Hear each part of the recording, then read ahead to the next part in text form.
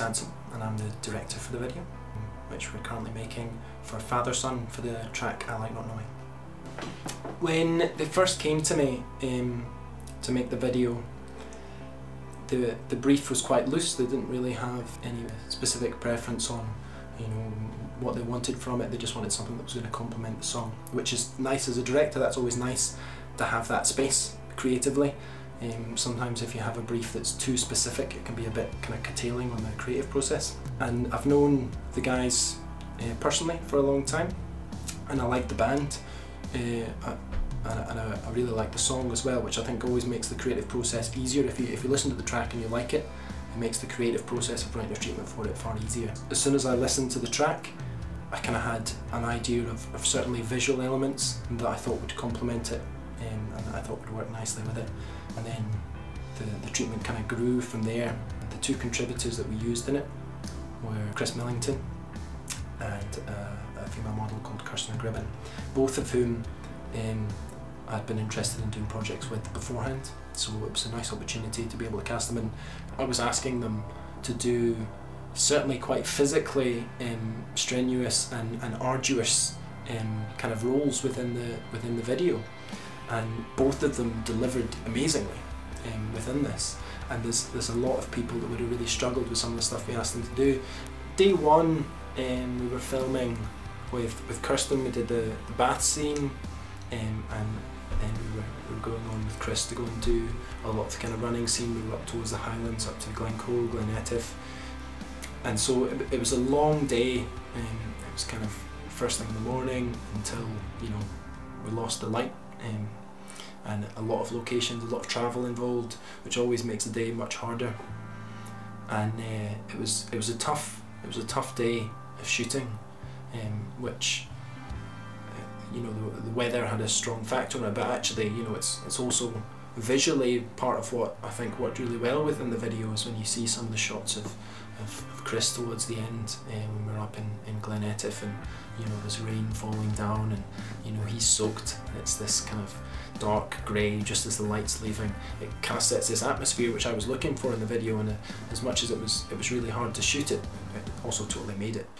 The jump location where initially we're going to use was going to be in a river and uh, because of the, the heavy rainfall and the heavy melt from from the mountains in the area we were working in the the level of the river was extremely high. So the initial location that we were we were going to use for the jump scene was just far too dangerous again, for us to be able to, to use. So um, it's it's that frustrating thing where you have the location, the perfect location that you've had in your head, and then you get there and, and physically it's not possible to do.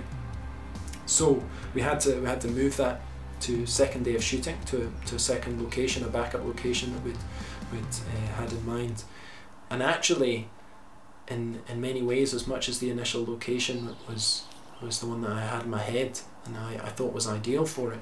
Once we went to this other location, I actually think in lots of ways it ended up being far stronger um, and, and far more dramatic. And uh, uh, what I liked was the volume of the water, this huge space of water, juxtaposing this idea of this this tiny, um, you know, bath, which which we were seeing Kirsten in. So in in the long run, I think it ended up working to our benefit. Uh, so we're at Loch Lomond. It is five to nine. We were meant to film this yesterday, but the current was a bit too much, and I don't know I like drowning, so.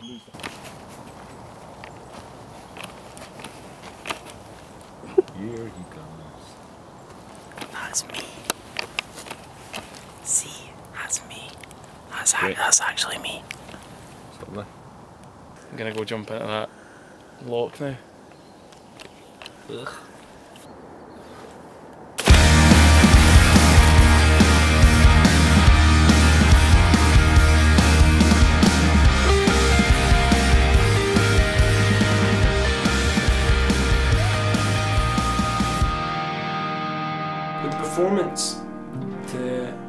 Key thing for me in the performative element was that we delivered the same amount of impact and power through the performative element as we did within the, the narrative element of the video.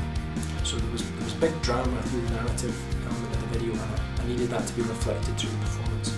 So I'd, I'd had this idea of, of, of kind of um, this kind of wall, this, this strong silhouetted backlit wall of light, um, and, and the idea of kind of throwing in super slow motion in that to, to really add kind of impact and punch to it.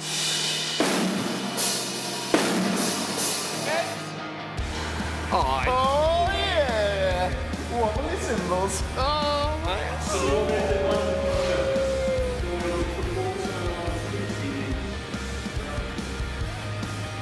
visually, I, I think it worked.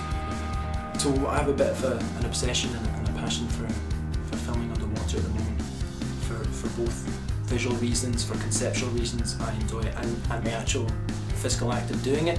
It was, it was a scene where, where Kirsten really delivered well and was kind of strong underwater. Um, the final video, just some really beautiful moments and some beautiful shapes that she formed.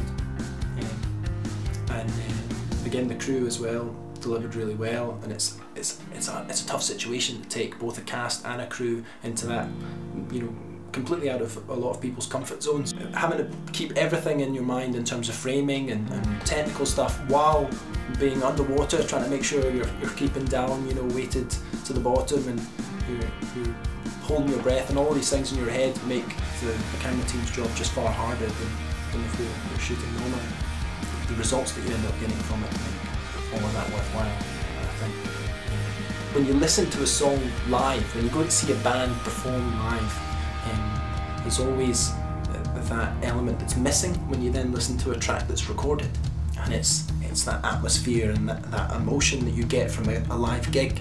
And I, and I often like to think of a music video as trying to put that back into the, the track, that emotion, this extra element which is both emphasising and, and taking a song you know, to, to another level which you wouldn't get just through listening to the track on its own. And when you get a song that you're excited about and, and has as much power as I think this track has, um, it, that journey becomes really exciting.